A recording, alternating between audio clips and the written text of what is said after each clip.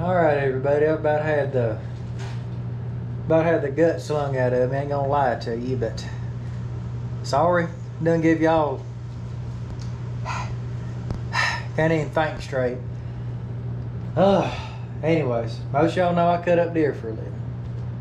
That's understood. I'll give y'all a warning of reasons footage might be shy. I've got six or seven videos, but I ain't even got time to edit them or throw them up or anything. Uh, anyways, here- here's an idea of what's going on. We cut up since like seven this morning. It's about ten at night right now, and I'm I'm not joking. It's nine or ten or whatever it is, just to prove a point. Nine forty-seven. Hopefully y'all can read that. Hopefully it ain't blurring up too much on you. Nine forty-seven. Cut from seven to two. Took about an hour break. Uh, got up and started cutting till about seven or eight this night. And handling customers coming in all day. It is not easy.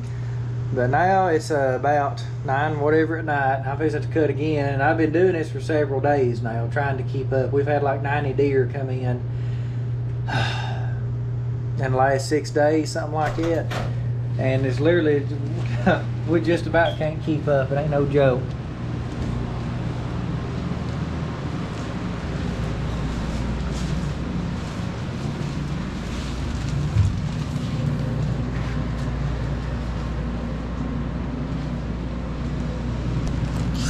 Long story short, I've got like two or three hooks open.